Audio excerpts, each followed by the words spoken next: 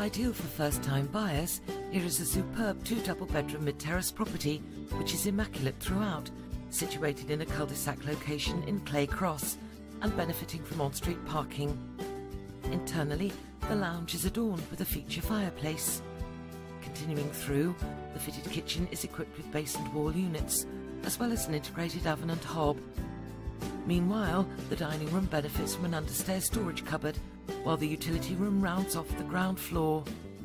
Upstairs, one of the two double bedrooms is fitted with mirror-fronted wardrobes.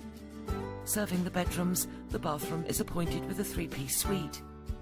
Externally, there is a lawned garden to the rear, which includes a patio area. An internal viewing is essential, so please contact Spire today.